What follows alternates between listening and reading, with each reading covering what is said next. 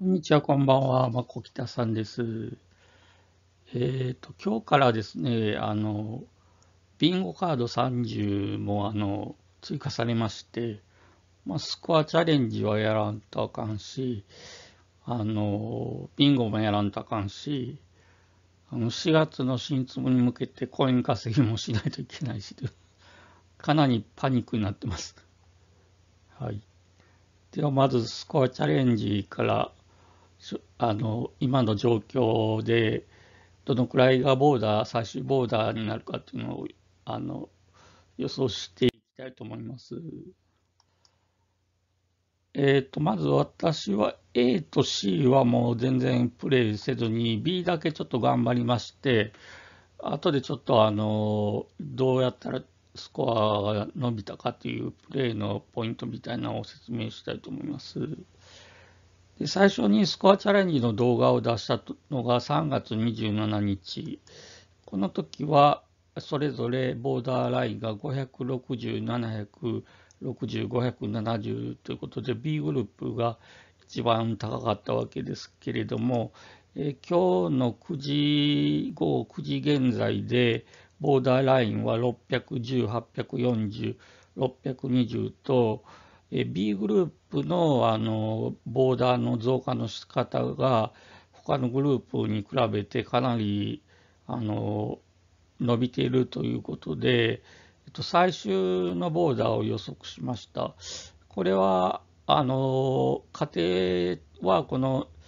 27から29の2日で伸びた量がそのまま、えー、その2日で31日まであの伸びた量に上乗せするとかして考えたときは A グループが660万 B グループが920万 C グループが670万ということでこれはまああくまで目安にしていただければいいんですけれども、えー、今日からその31日までの伸びはもしかしたら、えー、27から29の伸びよりはあの少なくなっている可能性は高いと思いますので、今ここで出しているボーダーラインより低くなっている可能性もあります。で、私が使ったのは、まあ、A、B、C と、A と C は、まあ、あの、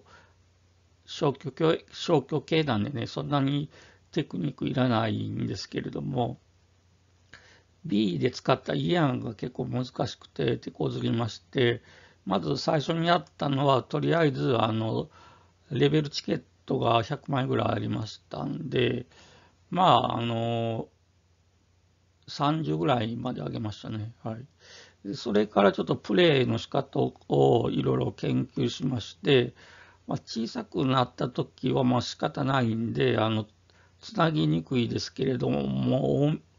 多めにつないで、あの、スキルゲージ連打で次のスキルゲージに溜まった状態にして、次のあのスキルが連射しやすい状態にしておくということですね。で、大きいのが来たときは、2倍のが来たときは、あの、イアンをつなごうとしなくてもよくてですね、どのツムでもいいんですけれども、とりあえずタイムボムが狙える4チェーン以上つないでいって、で、イアン自体は、あの、ボムキャンしてるうちにあのイヤも消えてしまうんでそういう意味ではあの4チェーン以上つなぐということだけを意識してやったらちょっとスコアが伸びました。であとはもうこれ運要素が大きいんで、まあ、根気よくやって大きくなるパターンが多くくるようなそういったあえっ、ー、とそういう、あの、のを待つということですね、なんつって。はい。で、えー、それでですね、今日から来たビンゴ30なんですけれども、これはすごい手こずってまして、えー、なんとかもう、あの、えっ、と、18の方は合計系なんで、あの、数を、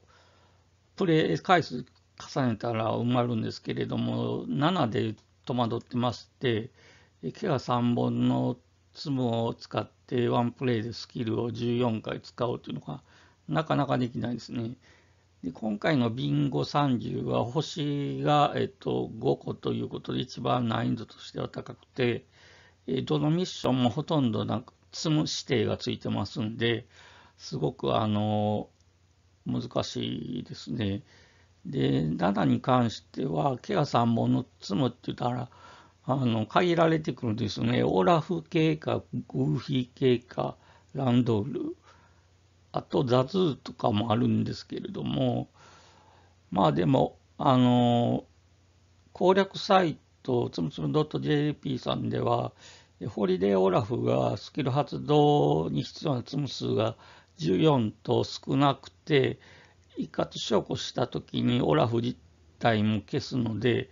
えスキルの練習性が早いよっていう感じでおすすめやったんですけど、僕のホリデーオラフはあんまり育ってなくて、ちょっとうまくいかなかったです。あと、スキル発動が軽いグーフィーもやったんですけれども、色が黒色ですごく他のツムに生まれ、埋もれちゃって、ちょっとつなぎにくいなということで、今のところすごい7で苦戦してます。で、新しく新ツムで出ました MU ランドールは、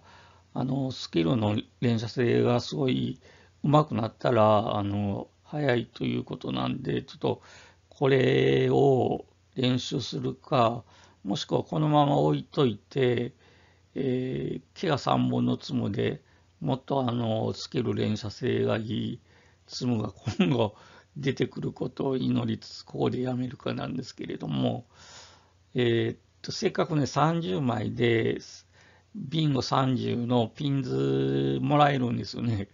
でそれも早く欲しいしということで、はい、そんな感じですね。で、もし、あの、視聴者さんで、え、このツムでクリアできましたよとかがコツとかありましたら、コメント欄に記入よろしくお願いします。最後までご視聴ありがとうございました。チャンネル登録もお願いします。私はその新ツムね、あと2体まだ分かってませんけれども、こちらの方も分かり次第、あの、動画上げていきたいと思います。まこきたさんでした。